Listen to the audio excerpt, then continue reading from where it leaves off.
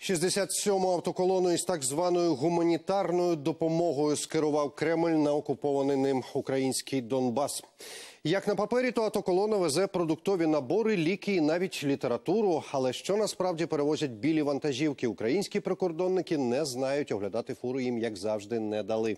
За інформацією розвідки, конвой зайшов на територію України напівпорожнім. Зброю в білих камазах дедалі менше.